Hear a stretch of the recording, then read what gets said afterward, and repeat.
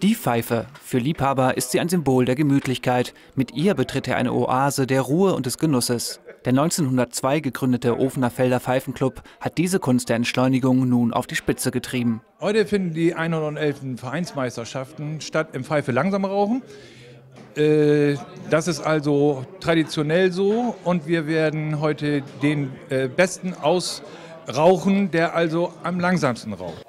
Ein ehrgeiziger Wettkampf, der wohl ohne sportärztlichen Segen ausgefochten werden muss, oder? Wir als Pfeiferaucher, wir rauchen die Pfeife nicht auf Lunge, sondern wir schmauchen die eigentlich oder genüssliches, leichtes Ziehen. Der Rauch gelangt gar nicht bis in die letzten Spitzen der, der Lunge oder der Bronchien. Na dann kann es ja nur heißen. Feuer frei! Ziehen, ziehen!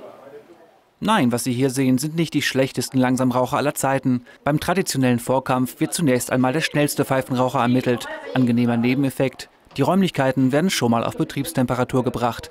Weniger angenehmer Nebeneffekt. Ja, so ein gutes Gefühl ist es leider nicht. Also es äh, ist eine ziemlich belegte Zunge. also kann man nicht empfehlen normalerweise. Nein, das kann man wohl nicht. Aber eigentlich geht es ja auch heute um etwas ganz anderes nämlich um drei Gramm Tabak, die in fünf Minuten gestopft, in einer entzündet und dann so ausgiebig wie möglich gepafft werden sollen. Das alles unter den strengen Augen der Schiedsrichter vom TV Mädchendorf.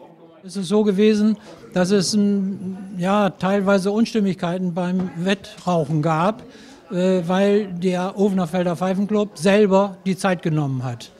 Und äh, dann wurde der Turnverein gefragt, beziehungsweise Mitglieder des Turnvereins, ob wir nicht bereit wären, als neutrale Zeitnehmer bei dem Wettrauchen, bei dem alljährlichen Wettrauchen des Pfeifenclubs äh, teilzunehmen.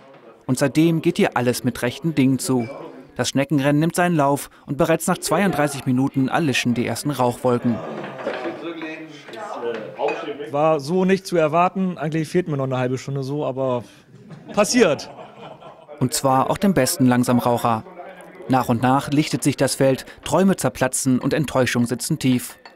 Dennoch zeigen sich die ausgeschiedenen Athleten professionell und peppeln ihre geschundenen Atemwege unverzüglich wieder auf.